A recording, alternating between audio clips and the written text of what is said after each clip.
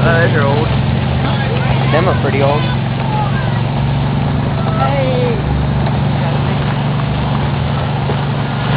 What'd you cut? What'd you call him? Joey. Joey.